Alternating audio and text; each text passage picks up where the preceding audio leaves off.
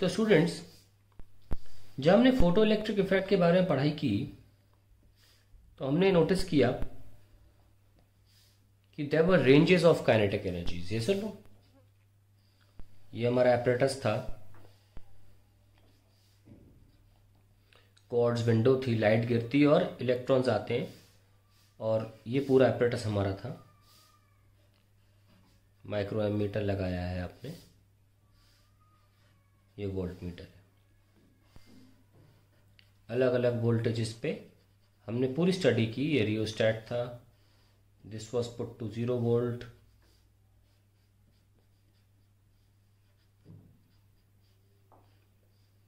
ये पूरा reason negative ये पूरा रीजन पॉजिटिव तो मैंने आपसे बार बार ये बोला कि हमारा जो करंट है सपोज़ हम कोई इंटेंसिटी लेते हैं, एकदम ज़ीरो नहीं हुआ। एकदम ज़ीरो नहीं हुआ, इसका मतलब varieties of kinetic energies we were getting whatever the electrons were emitting अलग अलग इलेक्ट्रॉन के पास अलग अलग काइनेटिक एनर्जीज थी ranging from zero to a maximum no zero kinetic energy किन पे होती है? जो जस्ट निकलते ही हैं जस्ट निकल गए हैं और आगे नहीं बढ़ पाए। और उनको आगे ले जाने के लिए यहाँ पे पॉजिटिव पोटेंशियल करनी पड़ती है है ना?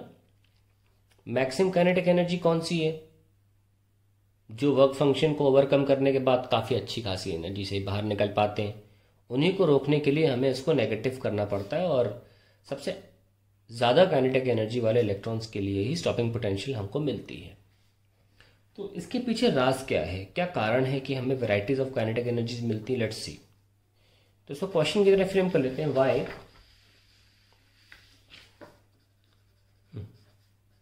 do we have range of kinetic energies from zero to maximum तो होता क्या है? किसी भी मटेरियल में जब फोटोन इंसिडेंट होता है तो ये फोटोन क्या करता है? ये इलेक्ट्रॉन्स मैं अंदर थो थोड़ा सा डीप में ले जाके बात करूँ, अगर इंटरनल स्ट्रक्चर की बात करूँ, ये इतना मोटा है नहीं, ये एंगस्ट्रॉम्स में होगी लेयर इतनी कम लेयर होगी? थिकनेस एंगस्ट्रॉम्स में। एंगस्ट्रॉम क्या होता है? Ten power minus ten metre ठीक है? एटॉमिक लेयर जो होती है, वो इतनी ही थिकनेस थिकनेस की होती है। मैं उसकी बात कर रहा हूँ। तो फोटोन जब आता है तो एक इलेक्ट्रॉन उस फोटोन की सारी एनर्जी अब्जॉर्ब कर लेता है। यानी कि एनर्जी कितनी है फोटोन के पास? एच न्यू और इलेक्ट्रॉन के पास भी एनर्जी कितनी हो गई है? Electron also has also has h nu ये एनर्जी इलेक्ट्रॉन की जब आती है तो उस एनर्जी से दो काम करता है। एक तो वर्क फ़ंक्शन ओवरकम करता है और फिर बाहर भी निकलता है। इसी एनर्जी के दो हिस्से होते हैं। वर्क फ़ंक्शन को ओवरकम करना और किसी एनर्जी से बाहर निकलना बाहर निकलना। लेकिन बाहर निकलने से पहले इसे बहुत रास्तों से गुजरना होता है। जैसे कि कभी इस इलेक्ट्रॉन से टकराता है कभी किसी बाउंडेड इलेक्ट्रॉन से टकराता है, जो इलेक्ट्रॉन बाहर नहीं निकल पा रहे हैं, उनकी बात कर रहा हूँ। जो निकल गए वो अच्छी बात है। तो लैटिस में ही काफ़ी कोलिजन्स होते हैं और इन कोलिजन्स के दौरान वो अपनी कुछ हद तक एनर्जी लूज कर चुका होता है। फिर जाके वो बाहर निकलता है। तो इस यही वजह है कि अलग अलग प्रकार की एनर्जीज होती हैं। कुछ इलेक्ट्रॉन्स क्या होते हैं जो बिल्कुल भी बिना कोलिजन के बाहर धड़ निकल आते हैं। है ना? और ध्यान रखें ज़रूरी नहीं है जितने फोटोन आप गिराओगे उतने इलेक्ट्रॉन निकल भी जाएँगे बाहर। क्योंकि काफ़ी इलेक्ट्रॉन्स कोलिजन करते करते अंदर ही मर जाते हैं। मतलब उनकी एनर्जी यूज़ ही नहीं हो पाती बाहर निकल के काइनेटिक एनर्जी देने में। तो अगर सौ फोटोन भेजोगे ज़रूरी नहीं है पूरे सौ इलेक्ट्रॉन भी निकाल सके। वो अपनी जगह से तो हट जाएगा पर बेचारा शायद बाहर ना आ पाए क्योंकि उसको टक, वो टकराएगा आसपास के इलेक्ट्रॉन एंड एटम से। तो ये जो काइनेटिक एनर्जी होती है, जो बिना किसी कोलिजन के मतलब ये जो एनर्जी होती है, जो बिना किसी कोलिजन के बाहर निकलती है, इसे बोलते हैं मैक्सिमम काइनेटिक एनर्जी ठीक है? तो आइए इसके बारे में बस एक, चार, पाँच लाइनें लिख लेंगे और हमारा थ्योरी खत्म हो जाएगा ये, कि why do we have different ranges of kinetic energy let us see when a continuous radiation beam continuous radiation of frequency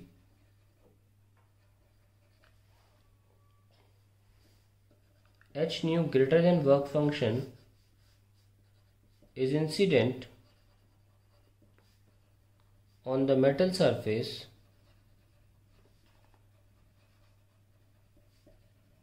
the ejected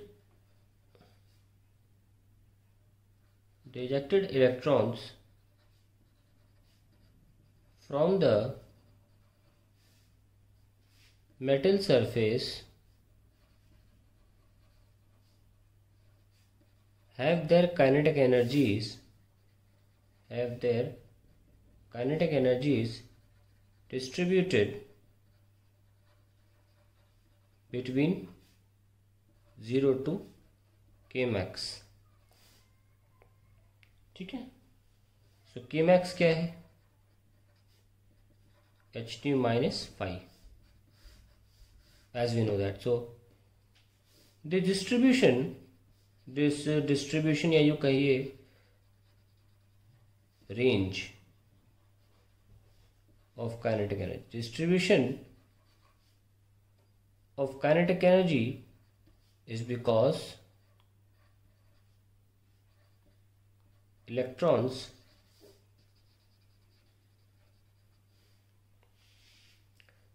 which are ejected out which are ejected out from their position out from their position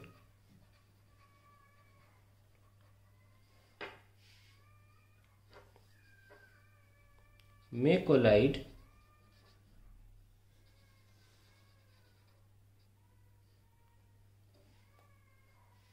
with some nearby electrons and lose some energy. Lose some energy.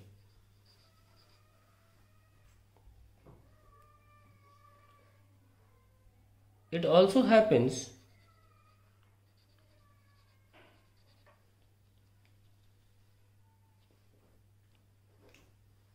It also happens that few electrons die inside only due to losing all their energy inside due to losing all their energy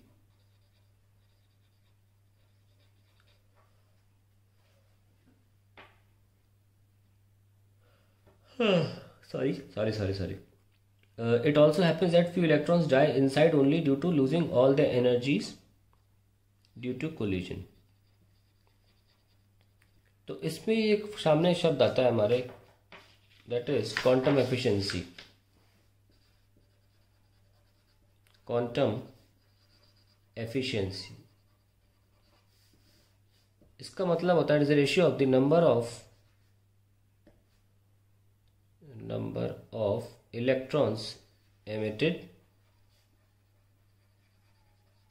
to the number of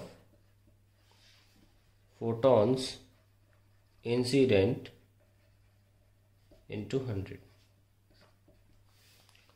एक और बात सामने आती है that uh, हमने देखा कि H जो एच न्यू है वो वर्क फ़ंक्शन और काइनेटिक एनर्जी देने में यूज़ अप हो जाता है। एंड काइनेटिक एनर्जी क्या होती है? H nu minus work function अब जैसे मेटल हमने बात बोली तो उसकी एक लेयर होगी एटम की टॉप मोस्ट लेयर चलो, वो तो ठीक है। इन सब का फाई जो होगा, वो सेम होगा टॉप मोस्ट लेयर का, क्योंकि वो एक जगह पर है। High how different different layers have different different value of five because जितना आप अंदर जाएँगे, उतना इलेक्ट्रॉन को बाहर निकालना मुश्किल होगा। ध्यान रखें that uh, when uh, huh, different atomic layers have different work functions. Different atomic layers.